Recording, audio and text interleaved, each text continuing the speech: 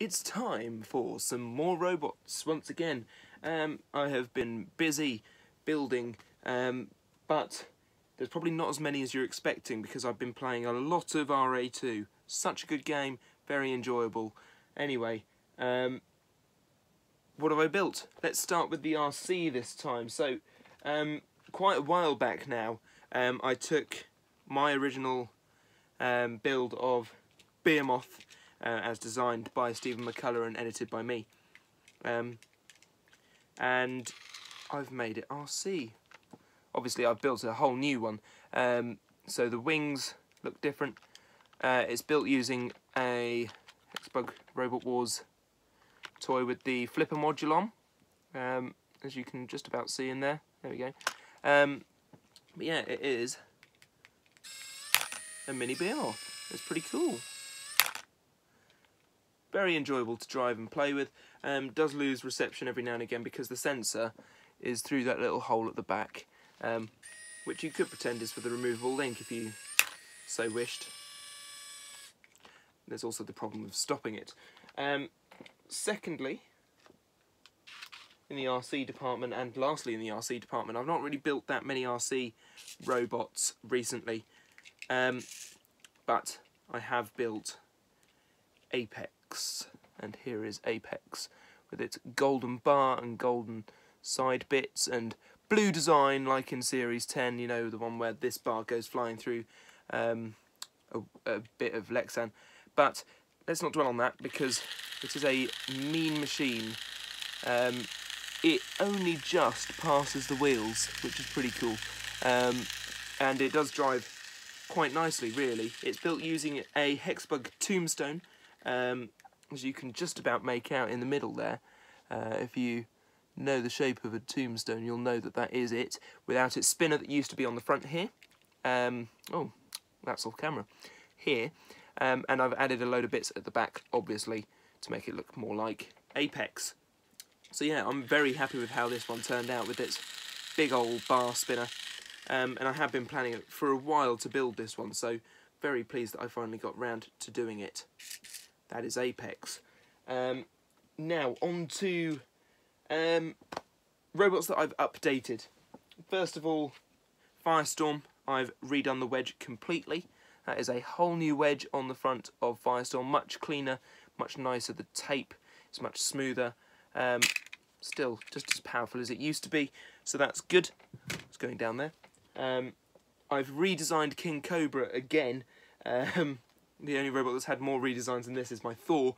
More on that in a minute. Um, but here is the new King Cobra, which is now um, even more modular than it used to be. So what you can do is you've got the crusher here and the lifter here. So you can either have one of them but not the other one, so that one. But what you can also do is if you take out the lifter and put it on the top here, you then got that ramming bit there. So that's good for getting under other robots and pushing, which is basically what Cobra is good at because it used to be Brutus and it's Brutus once again now. So yeah, that's King Cobra. Um, pretty happy with how that one looks. Um, moving on, we have Rebel, which I think I've shown you before. It's a robot of my own design, um, but the backstory behind it now is that it's built by Jack Barker, who um, built Endgame for BattleBots. I like BattleBots. But here is Rebel in its natural form. It's now a vertical spinner. Um, it has that vertical spinner. It's also got the lifting up bits here and the whole lifting bit there. Um, and also it's got this spinner armour like Lockjaw used to or does. Um, that's for spinners, the back plough, um, which if you hit it with a spinner will sort of do that and shift so it'll absorb the impact. So that's the theory anyway. Um, so that's Rebel. And lastly, on the uh, redesigning front, I've redesigned um, the interior of um, Boy Racer because it was quite breakable. Um, the whole flipper design now is actually on these side bits here. Um, the wheels have a little bit more armour in front of them um, and the flipper works just as well as it used to. Like so. there we go. So that is Boy Racer. That's it for updates. Now, brand new builds of old machines. This is a new bit. So, Shadowcat, winner of the Grand Slam. Yes. Completely not biased, I promise. Um, it was genuine that that's the way it happened, basically.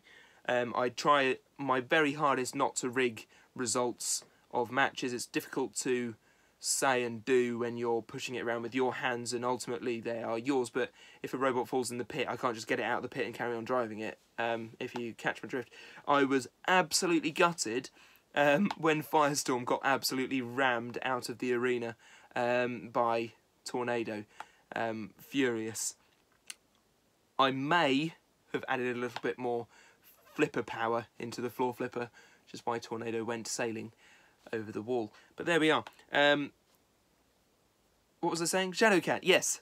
This is Shadowcat 2, redesigned for the next series of the Grand Slam. There's the Team X logo uh, on the back. And its flipper now comes all the way over to there.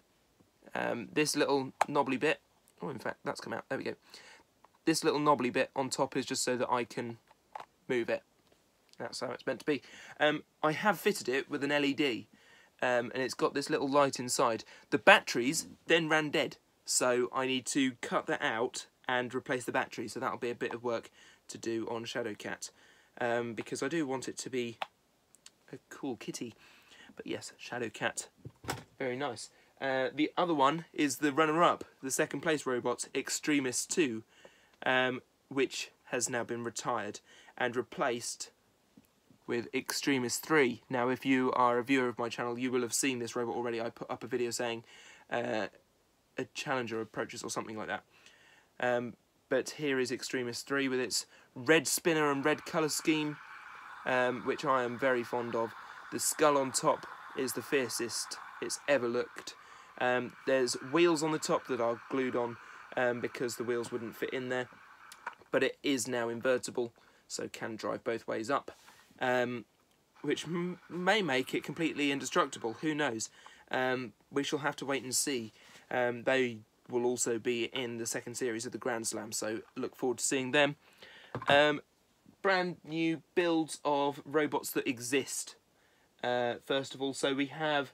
Uh, I went to Extreme Robots in Colchester. You'll have seen the video possibly on my channel. If you've not, go and have a look. It was a good fun event. Aftershock was there for the first time and it was absolutely brutal. Um, absolutely love seeing Aftershock there. Absolutely love being in the pits again. So yeah, Extreme Robots. Check it out. But anyway, I got all of their robot kits. So the first one I built is Ripper. Um, and I have updated their version to look more like newer day Ripper. So it's got these bits on the sides um, that protect it. So I've also finished this off so that it's got something here and something here and there's a bit of tape in there restricting how much it can flip. Uh, I've also added these two bits on the front. They weren't on the original model, um, but the new Ripper has them. So I've added them. So there is Ripper. Um, pretty happy with how Ripper came out. Obviously, it was a set before, so you just got to go with it. Um, secondly, we'll go with another live event robot. And I've only just finished building this one. Um, but this is Weird Malice and uh, it is a flipper again. Um, it has its eyes, it's got weird malice on both sides, uh, and its flipper looks something like that. Pretty powerful, got a lot of range on it. But yes, that is the best way that it works. I was going to have something out the back that I pushed down on.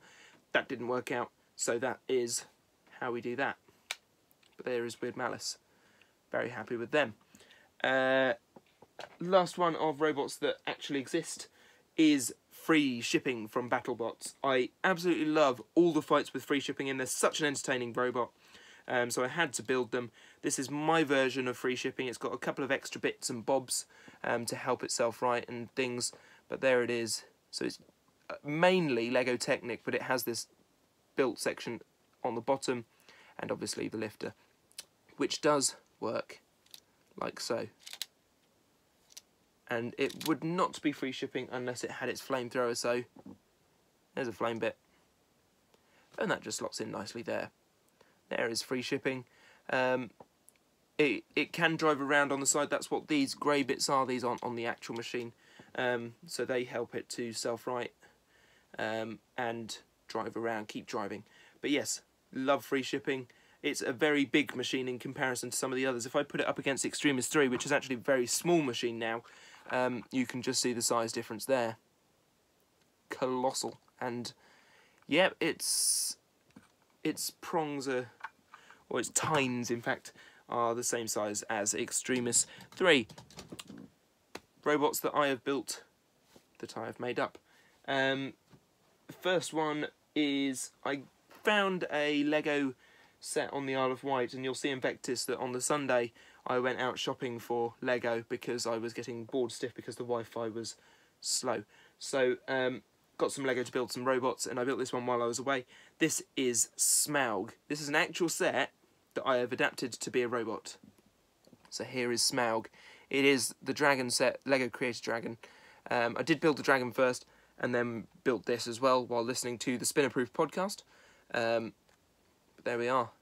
It's a huge, great biting mouth. It's got a nice little wedge look at the front just to get the robots up and into the mouth so it can grab a hold. Its wings are actuated so it can be the Shremek, uh, as is the tail, moves all around. So that is Smaug the dragon, obviously named after the dragon in The Hobbit, which was on TV recently. Next is Unicorn. I know, going with the mythical creatures, but this is a flipper. This is possibly the best flipper I have ever made. Uh, again, mainly Lego Technic. In fact, there is no proper Lego parts in here. There is only Lego Technic. Um, so yeah, there's the underside. All Lego Technic. It's got an RC, not an RC, a pullback motor just in here. That's what makes up most of the body that these wheels are attached to, so that if I wheel them back, they'll drive forwards. And the flipper is flipping big. It's that whole head, and it moves like that. But I absolutely adore this, and it flips really well. Really big flipper as well. It's possibly one of the most powerful flippers, without trying to be, um, ever. That I've built, anyway. So there is Unicorn.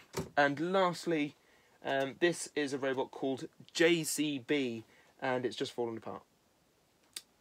Grand. It is a bit fragile, um, but it's JCB. It stands for Jaws Clamp Bots. Um, and here it is back together again. So it's got these crushing jaws here, and then it lifts it up like so. Thought it looked like a bit of a construction robot sort of Behemoth-esque, in fact. Um, it's got this back dumper section, don't know what that's for, but there we are. Um, but yes, Jaws Clamp Bots, JCB. There you go. Sorted. And that, as they say, is that. So thank you for watching. I hope you've enjoyed this. I hope you like some of these robots. Which is your favourite? Tell me down below in the comments. And just before I go, at some point in the near future, make sure you keep your eye on a channel titled Anderson9132. He is the Robot Wars guru, and he is making a YouTuber um, push, very much what I do with the Grand Slam, but he's making his own, um, he's been doing it many years before I have. Um, but he asked some of the viewers to get involved and um, apply robots, and I have applied a robot called Redux, which you should see now.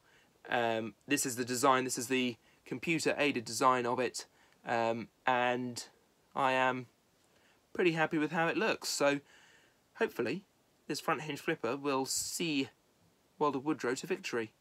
Fingers crossed. Anderson9132, go and check out his channel. Um, there's plenty more good stuff over there. Obviously, RWA Rebirth, one of the series that inspired the Grand Slam. So, do go and check it out. Otherwise, thank you very much for watching. And uh, I shall see you next time for probably some more Vectis. Yeah, more Vectis coming. I've only uploaded one so far, so editing time.